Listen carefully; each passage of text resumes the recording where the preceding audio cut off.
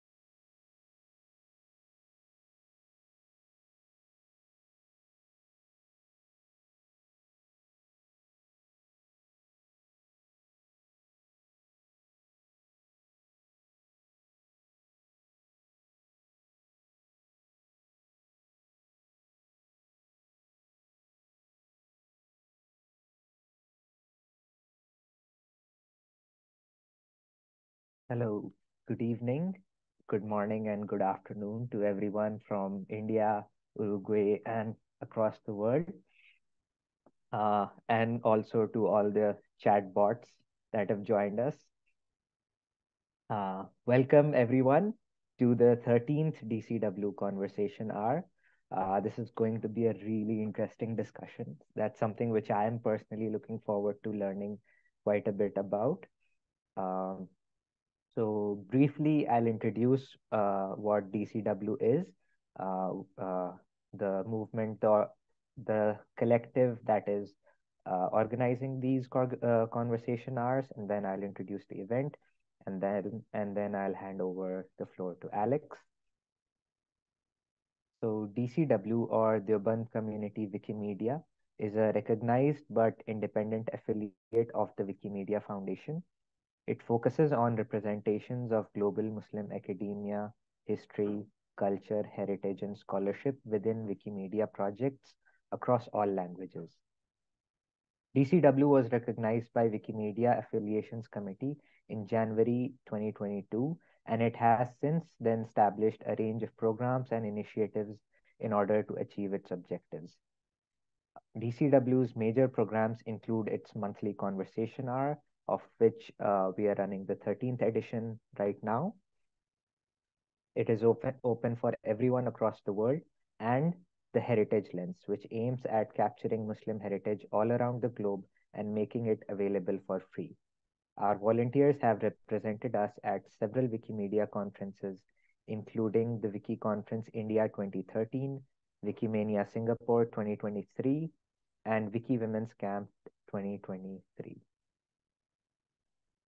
Moving on to the event, in the 13th DCW Conversation Hour, we are delighted to welcome Alex, and we look forward to a deep dive into the Organizer Lab, a program which is being run by the Wikimedia Foundation, which aims at impactful content campaigns and strategies to improve technical and social workflow for organizers in the global Wikimedia movement.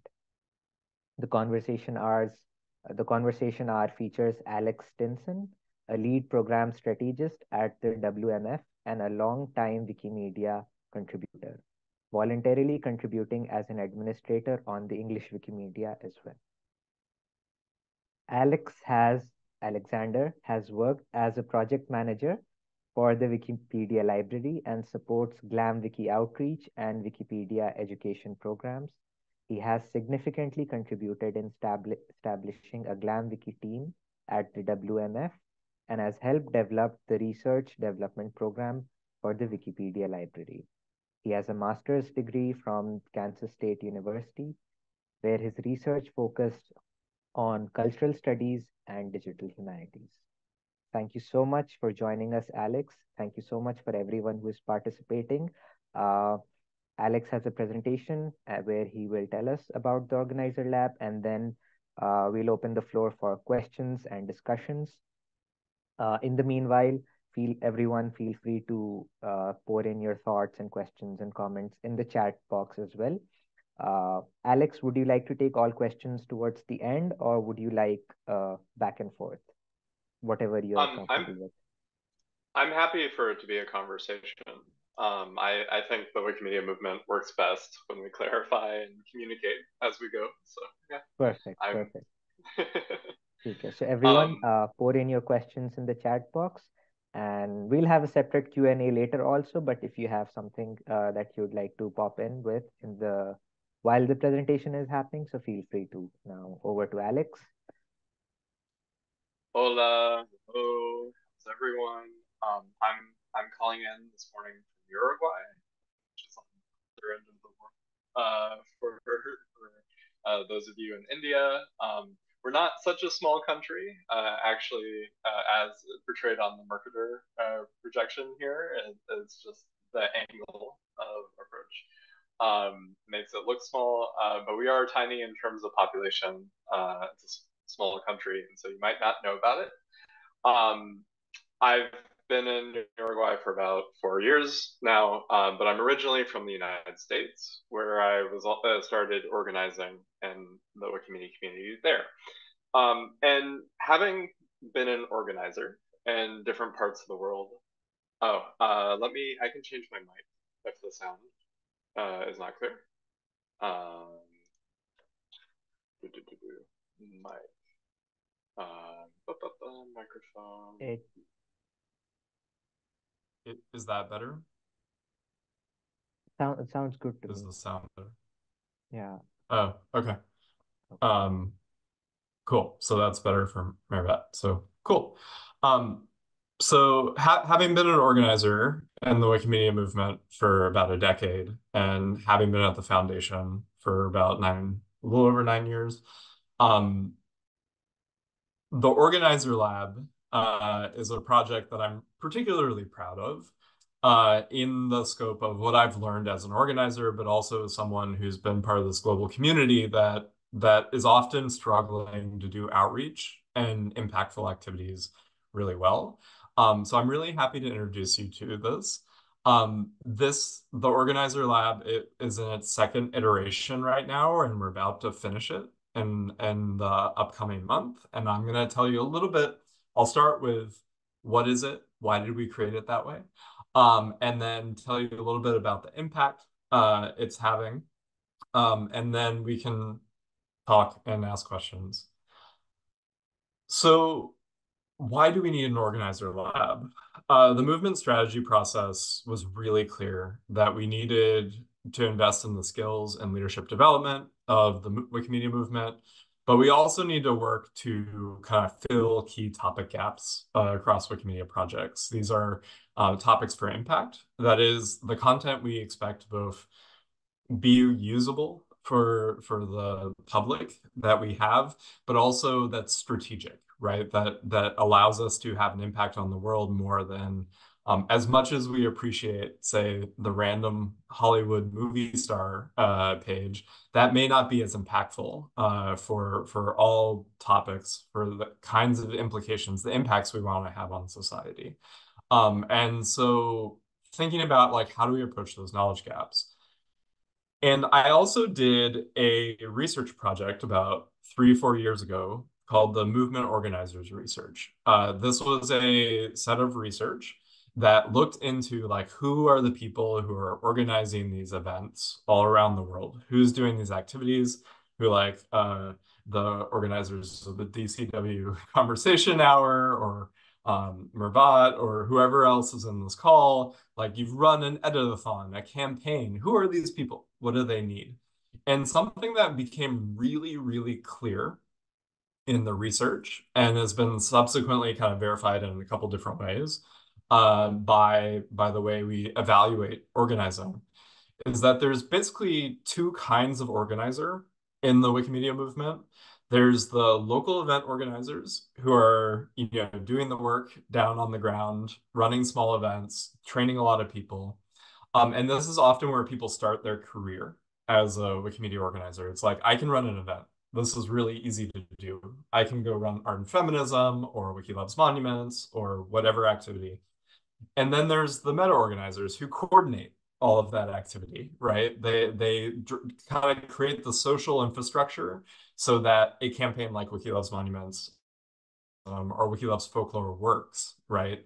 They're the people who have these kind of weird cross-cultural skills. They're often multilingual. They work in a lot of different ways.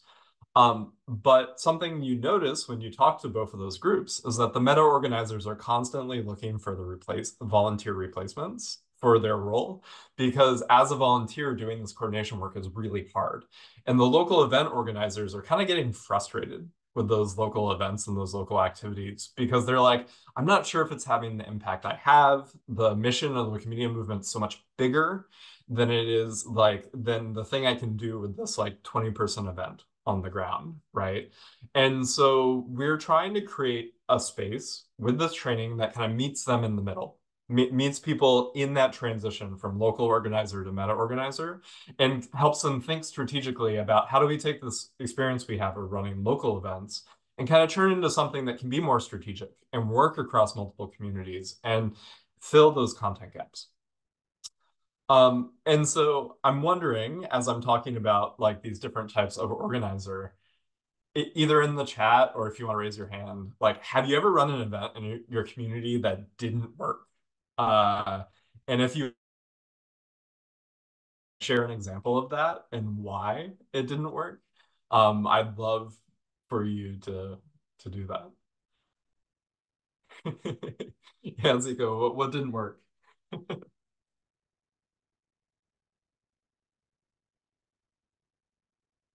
I, I, I can talk about one uh, of mine while folks kind of get bold enough or write their example. So I was when I was in my master's degree in Kansas State University, I saw a like decolonizing Wikipedia series of events that had worked really well in other uh, universities. I was like, I'll do one of those. And so I asked the department that I was part of to give me like $200 for like food and like snacks or $150 or something. I was like, I'm going to make this great. And I put flyers all over the university and two people arrived. Um, and so uh, raise your hand if you want to share an example. Um, and we'll work. And so for me, that that event was like a a, a terrible, terrible moment. Uh, because I was like, I'm this like really good trainer. I know all these things, but I have no idea how to get people at my university involved in this. Um, and it was really terrifying for me. That was the first event that had happened to me like that. I'd been running events for years, but this one was like particularly shocking to me. Um, so can we either unmute someone like Zico? Uh, yes, just Maybe Afi, can you uh, can you take care of that? I don't think I have the permission to. Ah, now it works. Oh, perfect. Can you hear me? Yes, perfect. Yes. I'm sorry. I, I uh, it was my problem. So once, once uh, I organized an event for which I had invited experts to uh, to share skills with community members. And the problem was that our, that many from our community members they were not really invested in learning the skill. They were much more joining the event to meet each other and have fun and make jokes and interrupt the expert uh, every third second, every th sentence for for for anything, and uh, so it wasn't really useful at the end. And uh, yes, uh, if the majority of the participants are not really there in order to do what is the goal of the convention, then it's uh, a little bit difficult. Yeah, that's a great example of like you got people to show up, but the actual program didn't quite work the way you hoped it to, right? Um, the, we hear problems like this all the time. Uh, and like don't believe the grant reports that say like all of, everything went fine. We had like dozens and dozens of people at the activities. Um, in fact, like everyone has an event like this uh, all the time, and we we sometimes see them underreported. Like when you dig in to talking to people uh, in the Wikimedia movement, they realize like, oh yeah, I run events that were just not very satisfying. They didn't do the results I expected them to do. They didn't actually create any content. Like the newcomers I trained like weren't retained, right? This is a really common experience. You're not alone. That's okay. Uh, we need to talk about these things. We need to learn about them.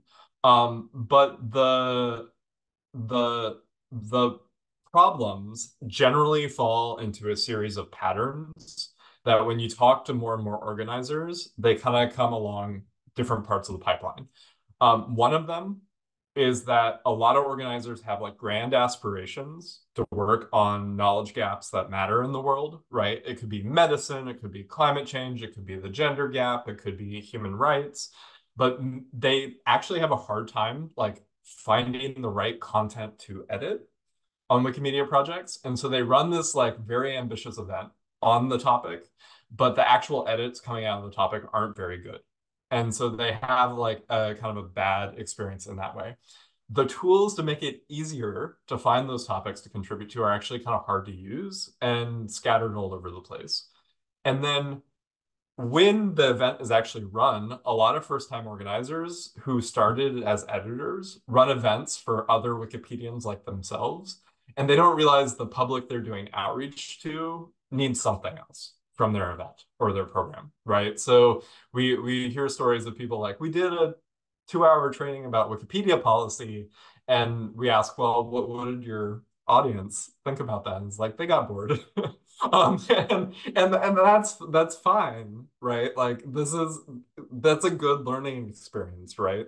But that may not be the event you need for that audience. Um, and then uh, we we see this kind of pattern, especially if you're a volunteer. You don't have a lot of time to like go and explore the Wikimedia movement.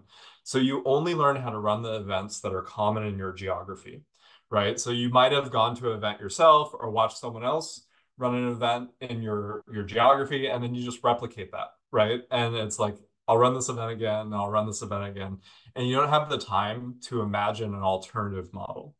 And so all of these problems are what we're kind of building into the organizer lab, what we designed it to address. Um, and help people kind of transition. So what, what we did is we created a three and a half month, a little bit longer, a little bit shorter, depending on how focused you are in taking the course. Uh, a course that has five live sessions, six online learning modules to kind of test our assumption that like you these this is a system of learning, not just one-off skills you can pick up at conferences. Um, and we kind of designed it in an intense peer-to-peer way where people are constantly showing each other examples of things they've done in their own context. And then we're giving feedback back to the students as instructors. And then last year we ran the first cycle of it in English. And this year we tried to do it in English and Spanish um, because of kind of limits and capacity. But and because those of us who are kind of running it this year all spoke Spanish enough to kind of support the course. Um, and we we did this over the course of six units that kind of go through a process of designing a campaign, which is identifying an actual knowledge gap on Wikimedia projects and having kind of a theory of how it will impact the public. Like, oh, okay, there's this gap. I think, you know, readers in Kenya or Tanzania or India need this kind of knowledge for this reason. What content exists on the wikis that people access in my context? And how do I fill that gap? And then really thinking about your audience who will contribute.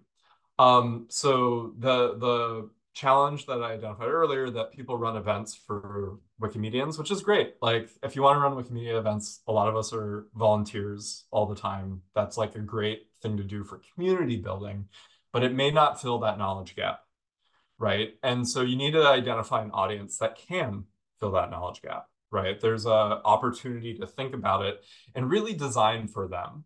Think about like, okay, if there's activists working on climate change in my context, how do I make sure that both my event and my activity is appealing to them and actually meets them something in their volunteer lives that makes sense?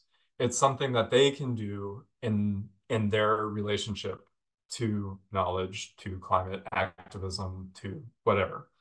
And then the last part of it is okay, like let's look around the Wikimedia movement, see if someone's done something similar to you, and then how do you actually like apply for a grant or design the project so it makes sense to other Wikimedians.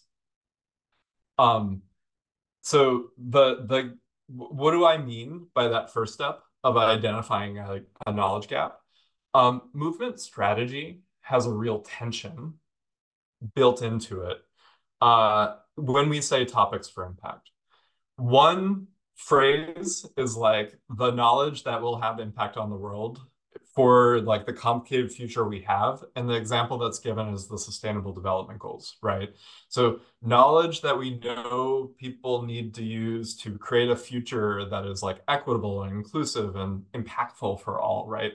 And then on the other end of the spectrum in that tension is knowledge that is like most discriminated against the kind of equity uh, circle, like the knowledge that is not documented yet online, that is most missing.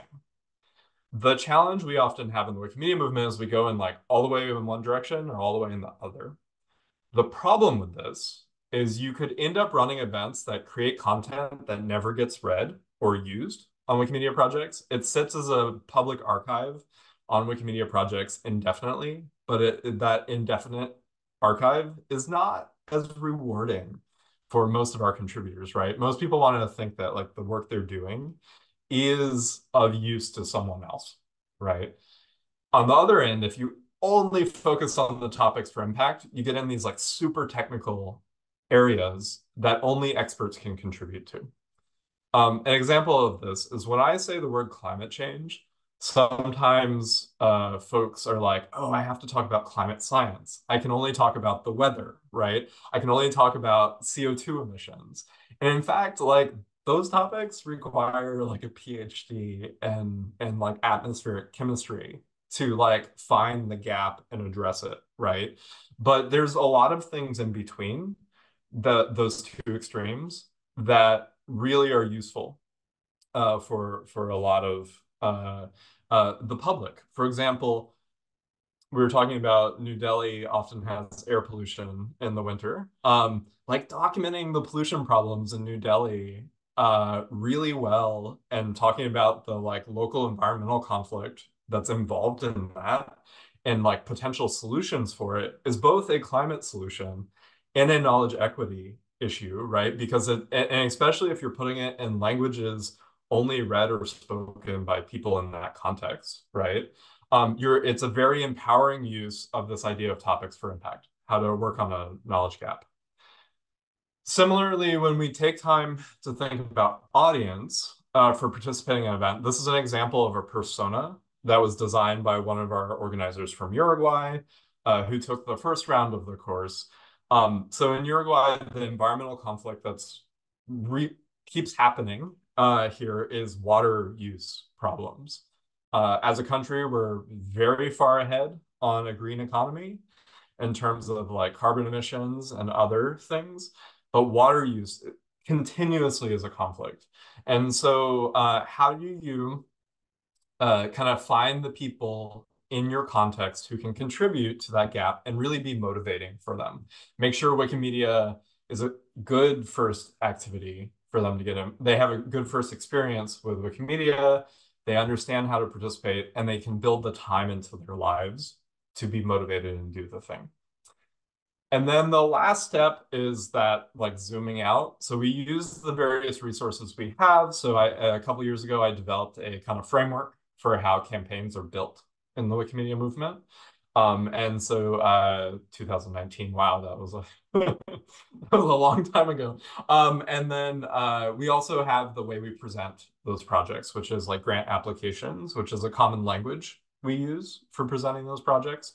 But you could present it in another format. So these, these are the kind of steps. This is what the curriculum looks like as we go through.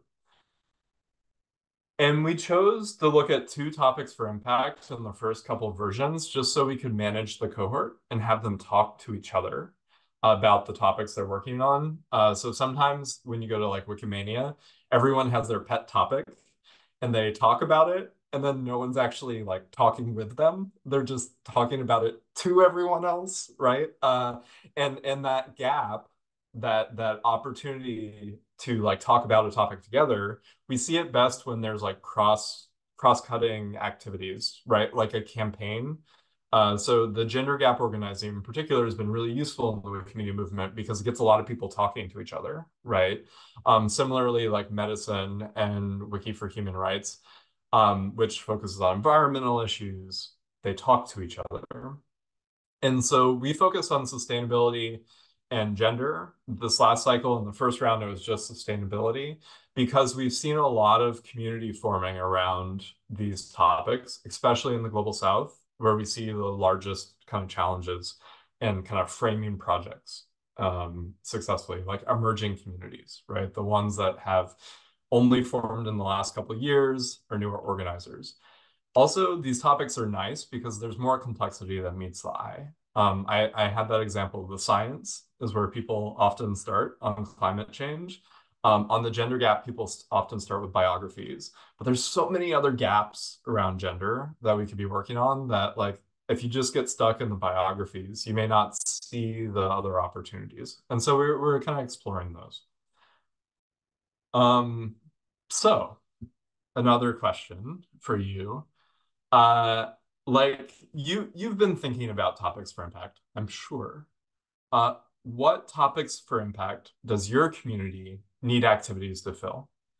Like have you identified topics where you're like we we really need to get better at working on a subtopic that we think will have impact on the public?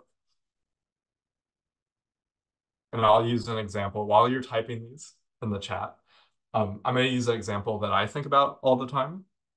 So I I recently bought a farm, like a small piece of property here in Uruguay. And like when I look at our content around agriculture on Wikipedia, I am horrified.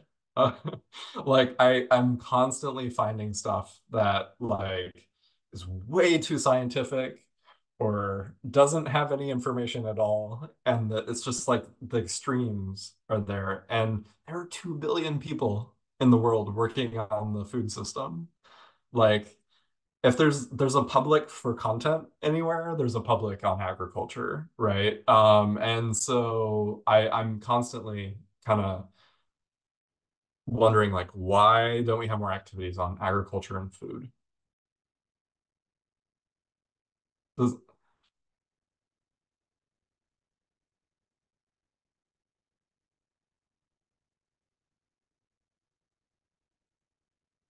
So are, are you thinking about Mervat, like, do you, do you want to unmute and kind of explain what you mean by that gap?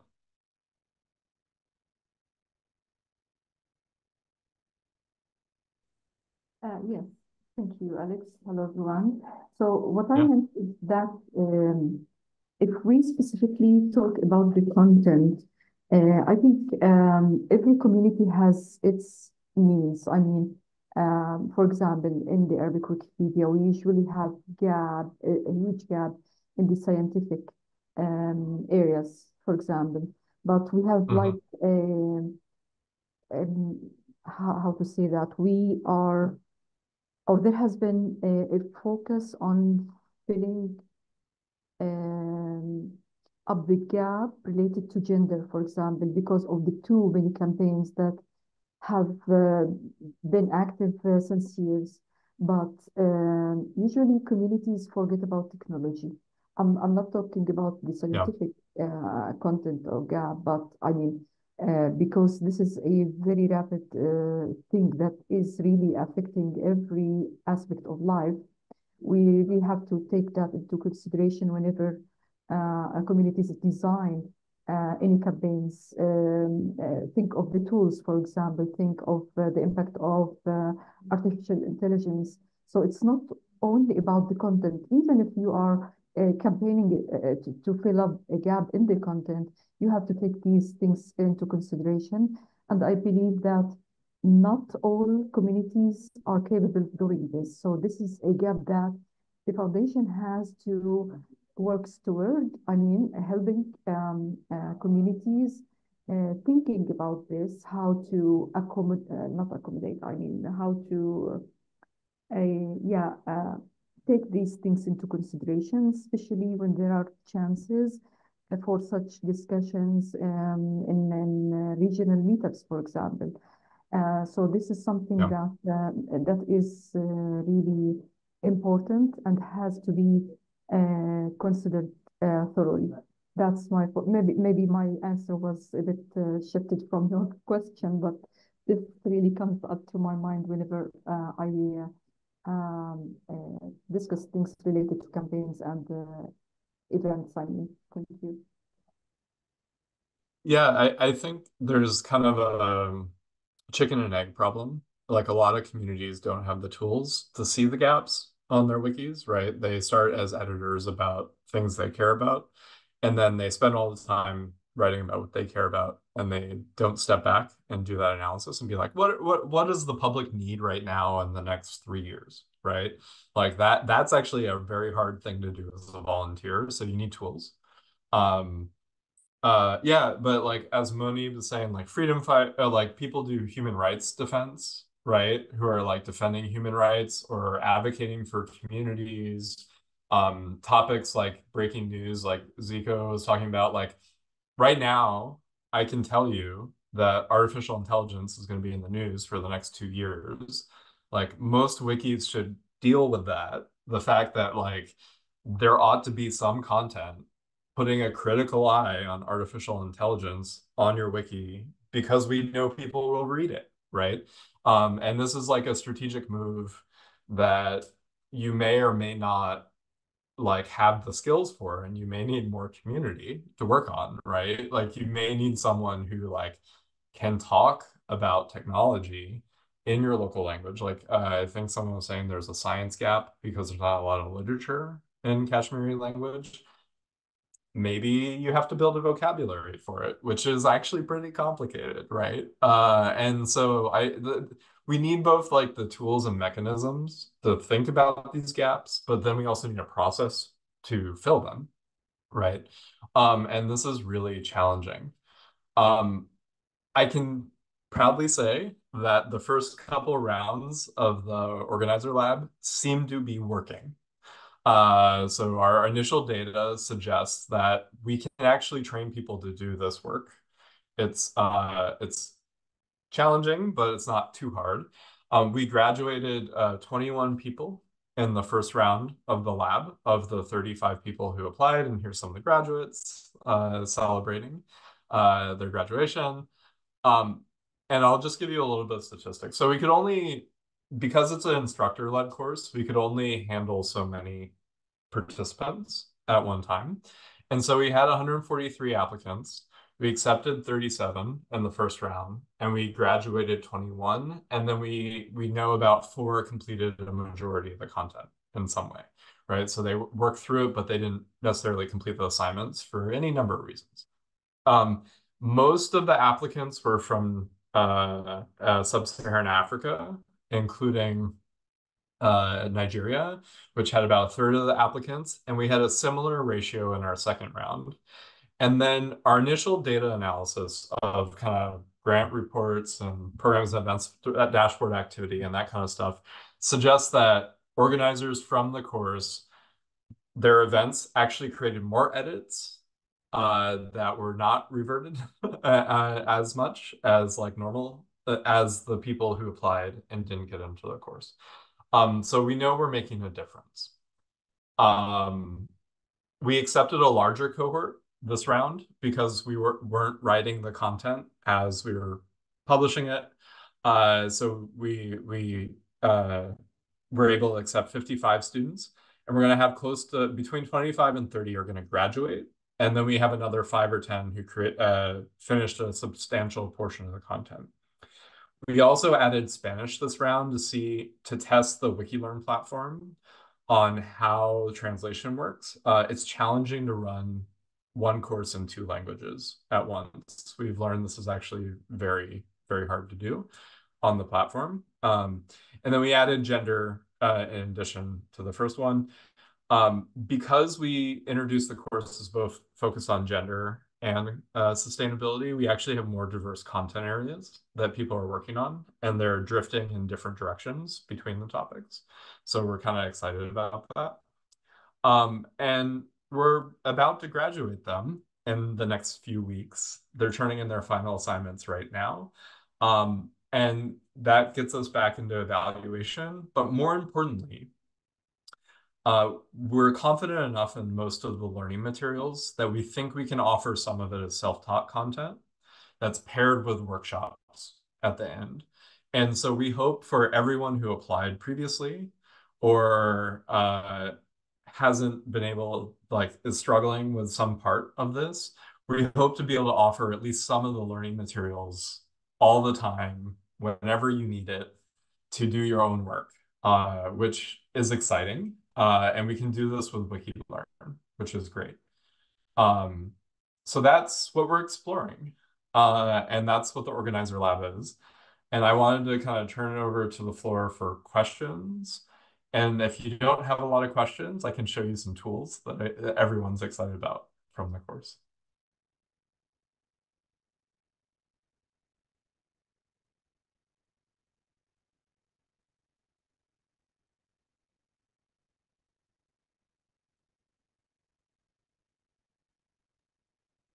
I think we can have, um, there are no questions in the chat box as far as I can see.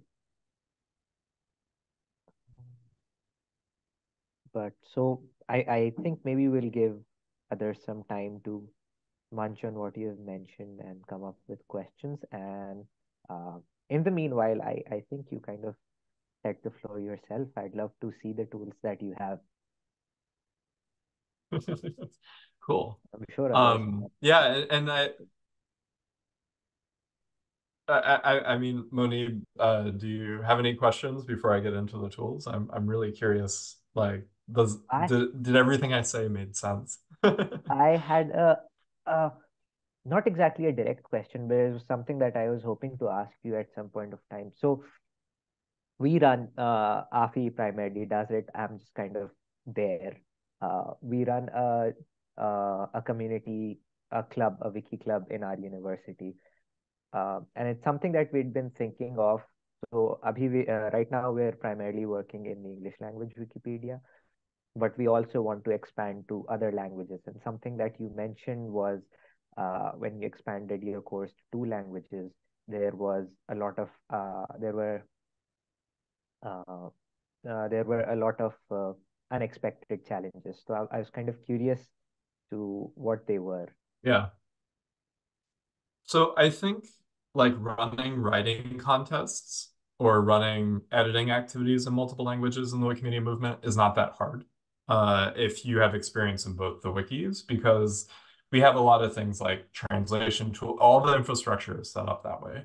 But when we step up a level and we're like, okay, we want the organizers in like English and Spanish that have the same learning experience, you're doing a lot of translation of a lot of different things. right? So you're translating like uh, um, caption files for videos. You're translating learning materials. You're making sure that if you're linking out to a learning material and that out like on Meta or somewhere else, that it's at least like easy to machine translate, right? Um, so there, there's a lot of like learning experience challenges, and uh, the WikiLearn platform is designed to help you do that translation, um, but it's not quite as easy as it is to do it on Wikimedia projects in terms of like the actual translation interface and stuff. Um, and so we, we just ran into some like delays and hiccups because we were trying to have as similar experience as possible in English and Spanish. And we realized that like doing them together requires a lot of logistics, right? Um, so something I, I, I, recommend to folks if you're ever doing a live course uh, during a period of time, you might actually want to offer only one language and then do the next language like six months later, which increased like cost and coordination uh, and all these other things, right? Um, so it, it's it's kind of a complicated thing with a learning experience at a like across multiple context level. In the local context where everyone shares at least one language and you're coordinating like across wikis, it's a little bit easier to do.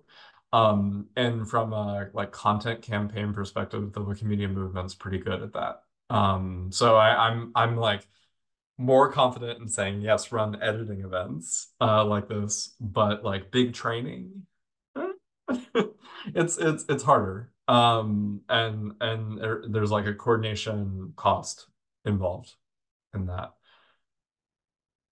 Okay brilliant we'll, we'll, we'll definitely check in with you before we have one of those. No. uh, another question which i think uh, i think i'm asking this on behalf of a few people in the audience which would be so that's a fantastic course that you have put together uh, mm. And if for someone who's in the audience or who's watching this later on YouTube or somewhere, they're thinking, should I participate? Should I not participate? Is this for me? Is this not for me? Um, so who is this for? You'd say the way the course is structured. Um, who would benefit the most from it? And and what yeah so i think if you dropped out if you could think of a trend okay this person was really excited about it yeah. but they could not really benefit from the course as such so um the the to put the dropout rates in context uh, online courses regularly have less than 40% graduation rates in general uh, online uh, so a 50% or 60% graduation rate is actually pretty high uh, for online courses. So I just want to put that in context uh, at kind of like a platform level. Uh, but there, there, we we've heard a couple stories from folks. One is just like they didn't anticipate the time required to do this, and I and I think you know as Mervat was saying uh, earlier, like kind of thinking through strategy and learning tools to do it is hard, right? Um, and and it takes time. And like we're writing the content to be as accessible as possible, but like there's a lot of new ideas in here if you've only run a few events in the Wikimedia movement, right? You've never done more than run events. Um, and so that's okay. Like if it takes you a long time to learn it or you need to go back to the material. And we've actually heard from some of the people that dropped off that they still went back and looked at the material after the course and they're like oh, okay this is interesting so that's part one um, the course is really for if you run a few events and you're like i'm part of the wikimedia movement and i want to have more impact with my activities and i want to run a program that's more strategic right so if i i, I want to go from like the one-off event to like you know something that makes sense for an affiliate or if you're paid or you have a role in the Wikimedia movement where you're responsible for planning campaigns and other programs, this would be good for you. Uh, because the and, and, a lot of the people who uh, we encourage to apply are like affiliate staff who have responsibilities on topic areas who may not have a lot of experience. Uh, that's super extensive. Um, so those are the people that benefit. Uh, we we plan to publish at least these first four modules as self-taught material. Um, and uh, we we think any organizer would benefit from these. Um, and then we're going to use a handbooks, the, the idea, and it still hasn't been approved yet for the work, but this is the intention, um, is that at the each of the at the end of this group of the first two modules and at the end of the group of the second two modules, you have outputs that you can use for your planning uh, to help you kind of better design activities. And then you share those with us when you apply for a, a workshop that has more direct feedback uh, in these last two units. Um, so that's the idea. Um, we hope to publish these earlier modules sooner rather than later uh, within the next uh, six to 12 months, uh, probably sooner, probably three to six months for some of the content. Um, but that means um, because we've tested it and we know it works. Uh, we've also heard from some of the organi existing organizers that they've used parts of the content in their own training with their own communities. So it's it's pretty well tested, we think. Um, it, it works. Uh, Mervat, you have a question? Um, it's not a question, but I would want to add more to what you have been uh, answering.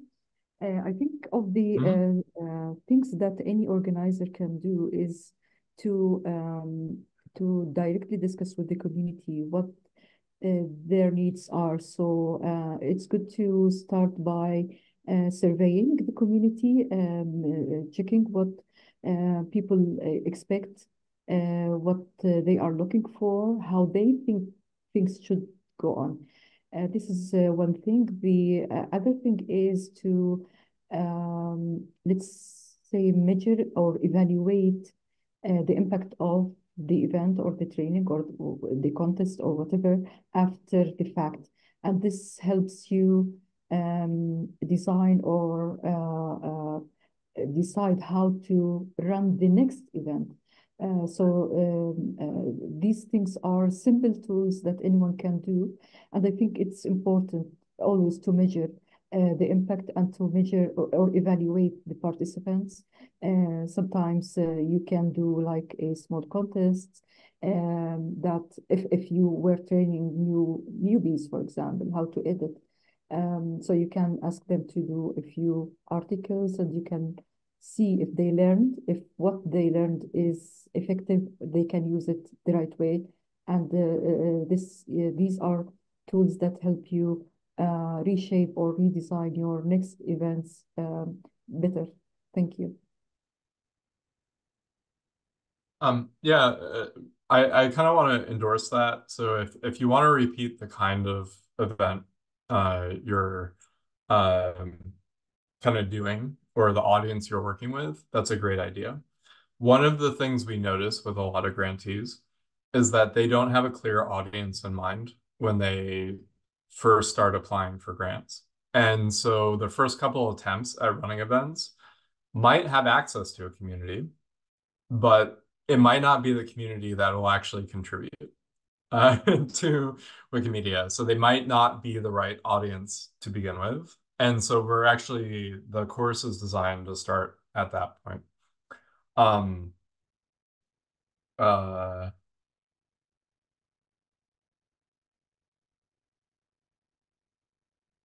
Um, so on the organizer, uh, so uh, there's two questions on the side. One is why why is it a course, not an open resource? Um, we did the course so we could test and evaluate the impact of the content. Um, and so that we could monitor who actually went through the material. So one of the things we've learned, and I wrote a guide many years ago that's in the programs and events dashboard on how to run edit-a-thons. I think it's like six or seven years old. We don't have a lot of evidence that people are using it. Uh, like the self-taught materials, unless it's kind of monitored and managed, does not disseminate well in this movement as a general principle. Um, that being said, I agree with you. It should be open materials. We want it to be, but we needed to test it and understand if it was the right thing because it is a lot of content. And we didn't want to suggest people like spend a bunch of time on this and then not be sure of the impact. Uh, not, not ourselves understand if the assignments worked, right? So the, in the first round of the course, I think two of the six assignments didn't work very well with students. Like we learned really quickly, it was like, oh no, actually, like this is not helpful at all in the the way we did it. You know, we, we like the students learned, but it wasn't quite the outcome we hoped for. We rewrote three of the six assignments for this round, and only one of them is underperforming in terms of like demonstrating learning we wanted. And we think we can fix that with tweaks. And so um, we we now are comfortable to publish everything as an open tool that you can use in your own context. And in the meantime, graduates of the course have been using parts of the material uh, to do uh, things in their own context. Um, Afi, yeah, uh, so you're talking about uh, Wikidata creation uh, on Wikipedia in the classroom. So one of the things we're doing uh, with the course is spending a lot of time on tools. And actually, this is a good time to do tool demos as well. Um, and really focusing people on what we know works for newcomer activities, which is editing existing content.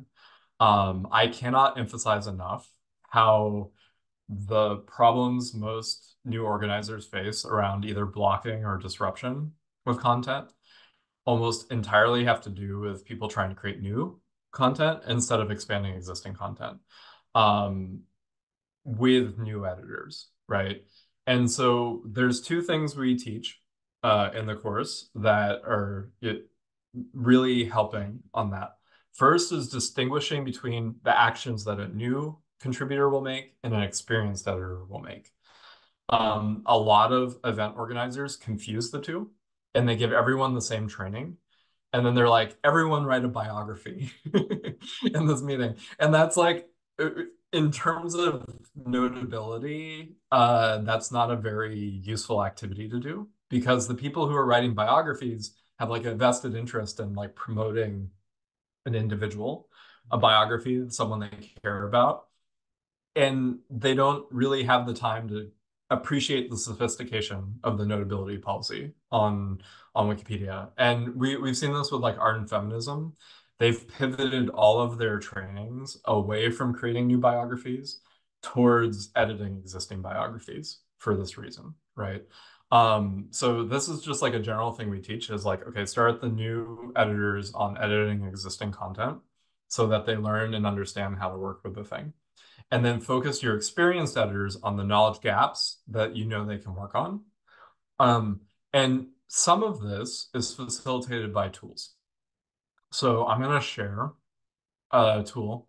Uh, yeah, this is just a recommendation we have to organizers, and we spend a lot of time talking about like what kind of editing action does your audience need to do, right?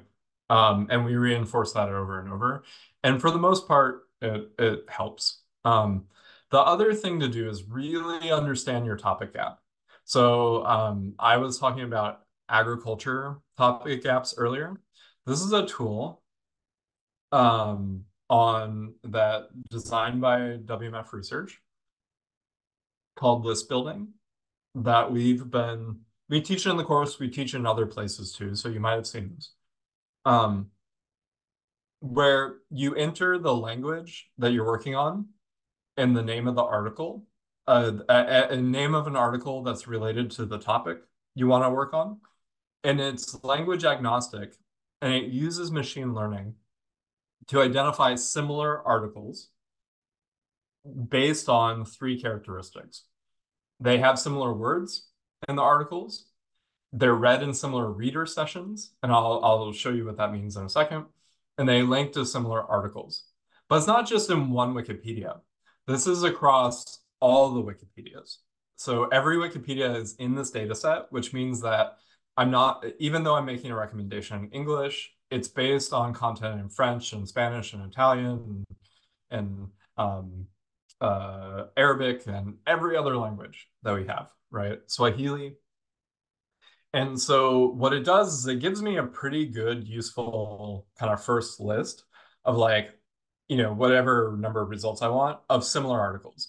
So if I'm looking at sustainable agriculture, agribusiness, environmental impact of agriculture, permaculture, all of these articles are related to this area, or if they're not related, you can understand why the machine learning suggested they were related. And you, as an organizer, you can say, well, I only need 50 of these for my event.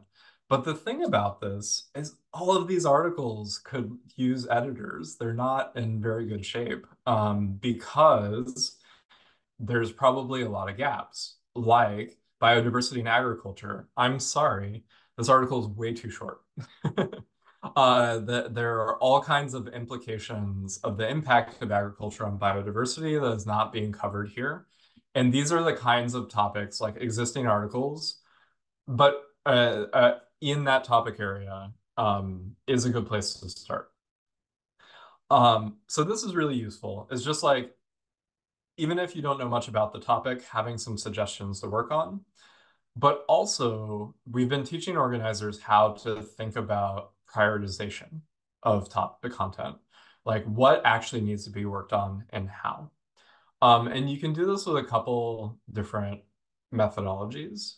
Uh, so you could say take something from the list building tool, and I don't know why it's not generating.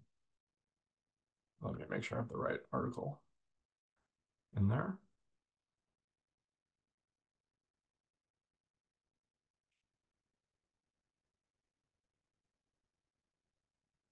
Sorry, it usually, I've never had a delay quite this long.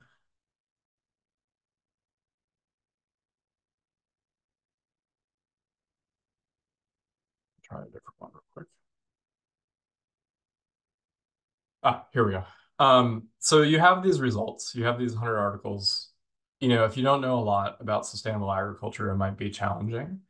Um, so you can actually save the articles to a page file and then go evaluate them either with PetScan or Massviews. Um, so if I run this query on PetScan, you can see the size of the articles, and you could say prioritize only the articles that are short and have uh, like an opportunity to be improved, to be added to. Or if I go to Massviews, I could go through those articles and be like, okay, the highest visibility articles, probably don't want to touch those with newcomers because they're probably, you know, high impact. There's already other editors on it. It's probably really complicated to edit. But this next tier of articles, I could start looking at those and be like, well, if it has over, say, 3,000 page views on English, which is a moderately good amount of page views on English, um, that might be a place to look. Like, let's pick from these 20 the five articles that really matter. Um, yeah, it, it is an important factor, especially if you're going to have new editors coming on to improve the articles. Um, you don't want them editing something that has like 27 page views a month and yeah, and is not a, like uh so I don't think uh Massviews handles uh, featuring good articles, but with PetScan, you could tweak or massage the data. So I could be like, okay, I only want articles bigger than 5,000 bytes, but smaller than 15,000, because I think that's like a medium size article that has a good structure, but isn't going to be like obscure, right? And so I have that, that kind of subset of articles from there. So we teach something like this as a way for people to kind of evaluate uh like where should I prioritize my work? How do I get people started on topics that already exist so I don't run into the newcomer problems involved in notability, et cetera, et cetera. Um, this is this kind of skill where it, it is in the will be in the self-taught content. Um, we also have, uh, and I talked about reader navigation. So for some of the bigger Wikipedias, we can actually tell you the connections between articles based on readers uh, like what people are reading. So if I look at um, sustainable agriculture, now this isn't as useful if you're working on a smaller language, Wikipedia. Um, and here, here's the example um, I'm looking at right now. Um, you can see, well, the article on sustainable agriculture, most of uh, a lot of the traffic comes from search and others. Uh, so I, I'm not not so interested in that. But the of the readers that come in, they come from the articles agriculture, environmental impact of agriculture, etc. And then they go out to articles like permaculture, sustainable food systems, agroforestry. If one of these pathways to the article don't make a lot of sense to me, um, I have a chance to go change it. I could go work on the lead section of these articles to make sure that the word sustainable agriculture is connected, right? Um, similarly, I could think about like what what topics really should you be thinking about if you are on the sustainable agriculture article and you go in this direction. This is also good if you're planning a translation activity and you're like, I'm on Swahili Wikipedia. I really don't know what articles to prioritize for translation related to sustainable ag. We have one article, but we don't have these others. You could look at some of the bigger languages in your context and and think about okay, what kinds of reader pathways do we want to enable on on Swahili Wikipedia, which doesn't have articles about deforestation, shade grown coffee, et cetera, et cetera. How do I make sure uh, that these connections work. Uh, Zico, I agree with you. It's not perfect for all the all the Wikipedias, which is part of the reason why the list building tool is a little bit more useful because it gives you other insight uh, into things. And then an important part of the course we teach is actually like evaluating what topics in your your context might matter. So uh, on the agriculture example, both or organizers in both Rwanda and uh, Tanzania at the end of this cycle, the organizer lab went and looked at it and were like, no, no, no, sustainable agriculture matters a lot for us, but we have like a certain subtopic of issues we want to look at. And so we want to do agriculture, you know, we want to do some of these generic global sustainable agriculture topics in our local language. But also, we want to think about what the local topics are that are missing and make sure they're included. So it, it, we're we're teaching that kind of skill, which is and, someone uh, part of the reason I started down this pathway was someone asked like, why did you teach a course? Um, this is part of the reason why we taught a course because it takes time to practice and then understand the impact of and see how other people are doing these skills.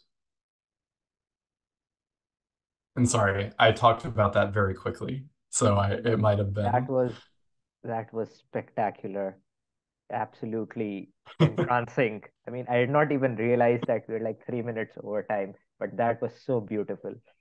Uh, wow. Um, I think uh, I think uh, it's time. We're over time actually. But thank you so so much, Alex, for that presentation. I'm sure these tools would come in very handy to the people here. And if any of you, uh, if you'd like to join the new cohort of the course, I think uh, this is uh, uh, it would be great for you. Anyone else, if uh, if anyone else has any quick comments uh, before we wrap up, Alex, if you have any closing remarks, I think uh, you're more than welcome. Uh, anyone else? And I'm I'm sure uh, Afi would post the links to these uh, in the event page later for you guys to check out these tools also.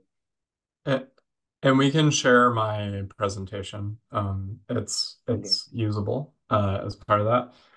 Yeah, I just wanted to say, you know, we're not sure when we're going to publish the self-taught content, but we're pretty pretty confident that the two sections that will be self-taught are really valuable for folks um, if they want to get into new topic areas or they want to design for new audiences. Um, and so we're really excited to be able to offer those. And then hopefully we can also pair it with these workshops, which have been really powerful in terms of getting people's designs from like idea to final project that they can actually implement. Um, and so uh, that that is what we're hoping to offer. Uh, and I I'm gonna be working on it over the next, I don't know, window of time. So hopefully I see you. If you have questions, if you want some of the material uh, before that we publish it, um, uh, I'm more than happy to help you uh, kind of access some of the stuff. We have ways to give you access without joining the class. Um, but uh, hopefully I can publish it sooner rather than later. With that, uh, I think it's a good time to close. Uh, thank you so much, Alex, and all the best with the Organizer Lab. And we really, I definitely look forward to seeing where it goes. Uh, I'm sure others do mm -hmm. as well. Um, so, yes, thank you everyone for joining, and we'll see you all in the next conversation hour in February.